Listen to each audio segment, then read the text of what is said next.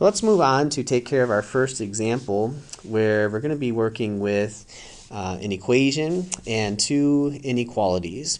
Of course, um, we're incorporating some function notation here and the functions that we're using are both linear functions. Uh, for instance, uh, f of x here is defined as 3x plus 5.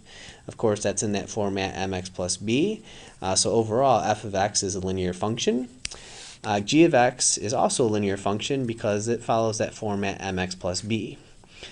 All right, in example part A, we're going to be solving an equation, f of x is equal to g of x. All right, so I'll show you how to solve this algebraically, and then I will uh, touch on the concept behind it, because uh, getting to that next level is definitely where I'd like us to be. Um, not only just solving the problem, but understanding, you know, what the solution really means uh, in terms of the context. Uh, so here's how you do it. Uh, what you're going to do is you're going to replace f of x with what it's defined as, and that's the expression 3x plus 5. So I'm going to go ahead and change or swap out f of x to 3x plus 5. And we're going to set that equal to the expression for g of x, um, which g of x is defined as negative 2x plus 15. So we'll just replace the function notation for g of x with negative 2x plus 15. And then we're off to the races. Uh, we basically just have a linear equation on our hands, and of course we're going to isolate x, and as soon as we do, we'll have our answer to part A. So to solve this, I think what I'm going to do is add 2x to both sides. So on the left we'd have 5x plus 5, and on the right we'd have 15. Next what I'll do is subtract 5 from both sides to get 5x equals 10. And then upon dividing by 5 to both sides, we get x equals 2 and that's our answer. Alright, so algebraically or mechanically, it's not all that difficult to solve uh, this type of problem involving linear functions, but the concept is this. You know, we want to figure out is there any particular value of x that makes the output of the function f equal to the output uh, g of x. Alright, and based on our algebra, x equals 2 should be the um, one input value that makes the output of both functions the same. And what I'd like to do is go ahead and verify that in kind of a form of a note here. So what I'm trying to allude to is that when we plug 2 into our function f of x, it should give us the same value as if we were to plug 2 into the function g of x, according to our algebra. Alright, well plugging 2 into the function f of x turns it into 3 times 2 plus 5, which is 6 plus 5, giving us 11. Plugging 2 into the function g of x, we'd have negative 2 times 2 plus 15, uh, yielding negative 4 plus 15, which is 11. And so you can see we got the same output from these two different functions um, using the input value of 2. Right, so there is a particular input value that makes the outputs identical. That input value is 2, and the identical output is 11. Let's move on to example part B. So the idea is kind of the same. Of course, we are in an inequality uh, situation, which changes the concept quite a bit. But from a mechanical standpoint, what we're going to start things out with doing is replacing f of x with the expression 3x plus 5 and say that that's less than 0. Now let's go ahead and solve for x. We'll subtract x, I'm sorry, 5 from both sides to get 3x is less than negative 5, and then divide both sides by 3 to get x is less than negative 5 thirds. Now, of course, you want to keep your basic rules of inequalities in mind still. If this 3 were negative, you'd have to reverse the inequality symbol. All right, but it's not, so we'll keep the inequality symbol the same. And what I would uh, much prefer is actually the interval notation versus the inequality notation version of the solution.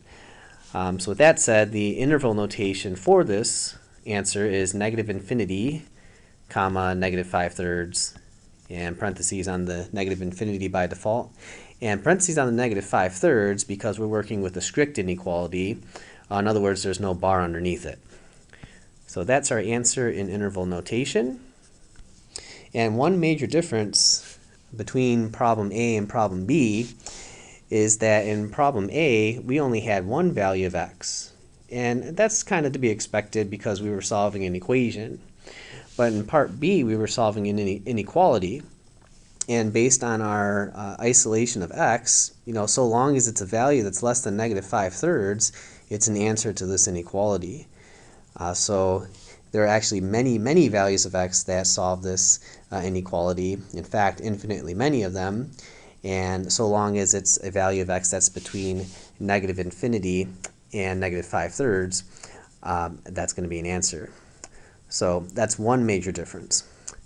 Uh, another major difference is um, the concept behind this inequality.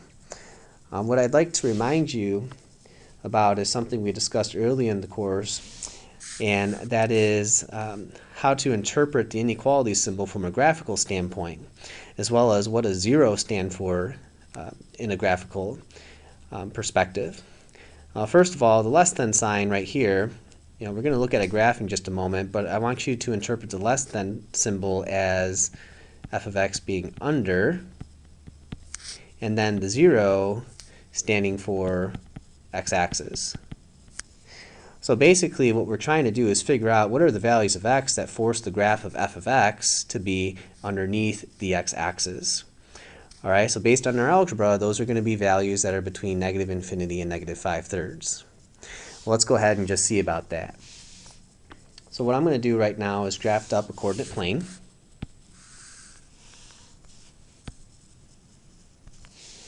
And I'll quickly sketch the graph of f of x, noting that f of x is in slope-intercept form, the y-intercept is 5, and the slope is 3. So the graph is a line, first of all, and it's going to cross the y-axis at y equals 5. And the fact that it has a slope of 3 or 3 over 1 means that the graph is going to be slanted upward going from left to right. So satisfying both those at the same time, you know, we'd have something to this effect as for the graph of f of x. So what you should notice is that there is a part of the graph of this line that is underneath the x-axis. All right, and it's this piece that is to the left of the x-intercept here which by the way, this x-intercept, you would find that it's negative 5 thirds, which happens to be part of our uh, solution here, um, the, in, the interval notation. But more importantly, it's what's happening to the left of the x-intercept here. This part of the graph of f of x is entirely underneath the x-axis. So from a graphical standpoint, you know, this is something we'd be interested in you know, this is a part of the graph such that f of x is less than 0. Or stated differently, all the y values on this part of the graph are negative. Alright, so this is a piece of the graph we'd be interested in.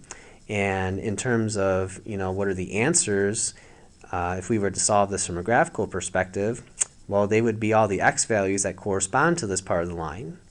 And those x values that correspond to it go from negative infinity all the way up to negative 5 thirds. All right, and again, since we are dealing with a strict inequality and there's no bar, you know, if you wanted to put either a bracket or parenthesis on the negative 5 thirds, you know, you'd be forced to use a parenthesis if I could squash it in there. And there we have it. All right, so that's the idea behind part B, which is quite different than the idea in part A. You know, we just want to figure out an x value that uh, makes the outputs of each function the same in part A, well, in part B, we want to figure out x values that make the function, uh, the function graph go underneath the x-axis, or in other words, x values that produce outputs that are negative. All right, let's move on to part C, and we'll solve it algebraically, and then I'll explain the concept behind it. All right, so for part C, we have um, f of x is greater than g of x. So just like with part A and part B, uh, we'll replace f of x with 3x plus 5. And we'll set that greater than uh, the expression for g of x, which is negative 2x plus 15. So it throws us in another linear, uh, linear inequality situation. And a lot of the steps that we do to solve for x here can be very similar to uh, how we did it in part A. Um, so with that said, I'm going to add 2x to both sides to make the left-hand side 5x plus 5, and still greater than, and on the right-hand side is 15. Now what I'll do is subtract 5 from both sides to get 5x is greater than 10. And dividing both sides by 5, no need to reverse the inequality symbol, we get x is greater than 2. So in interval notation, that'd be parentheses 2, comma, infinity. All right, so again, kind of to be expected, uh, we have infinitely many solutions here, but in particular, you know, um, the values of x that satisfy the inequality are those that are strictly between 2 and positive infinity. All right, so what I'd like to do next is explain the concept behind this kind of problem. I'm going to do some sketching of graphs again. So here comes coordinate plane. Sorry about it being kind of sloppy. Uh, let's go ahead and whip up the graph of f of x again. Okay, so I'll just kind of borrow the graph from uh, part B's explanation.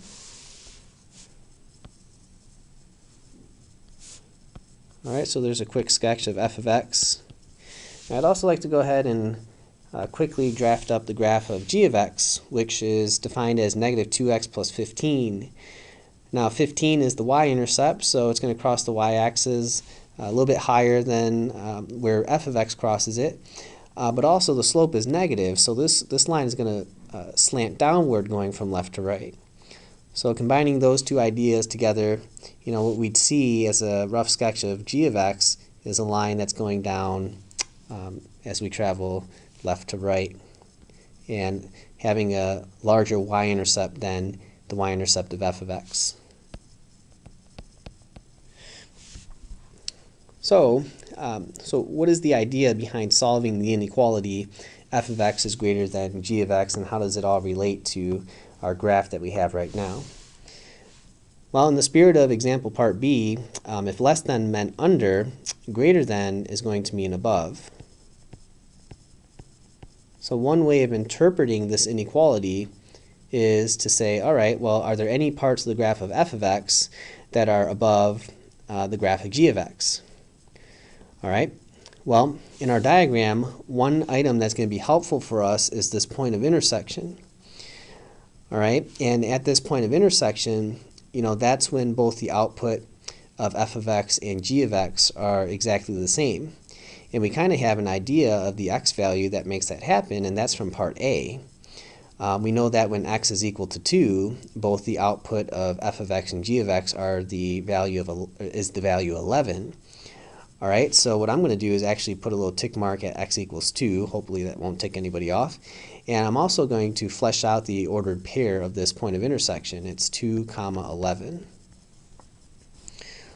So what's important about noting the point of intersection is that on uh, either side of it, you know, the behaviors of the graph are a little bit different, um, which will allude to, you know, us solving this uh, from a graphical perspective, this inequality that is.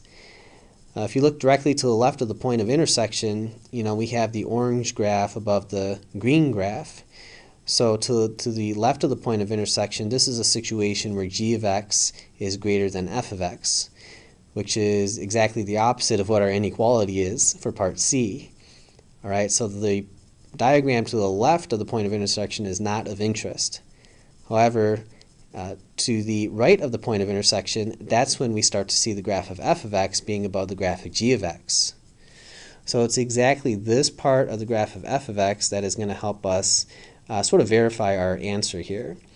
Um, this is a part of the graph of f of x that has us uh, seeing that f of x is greater than or above the graphic g of x.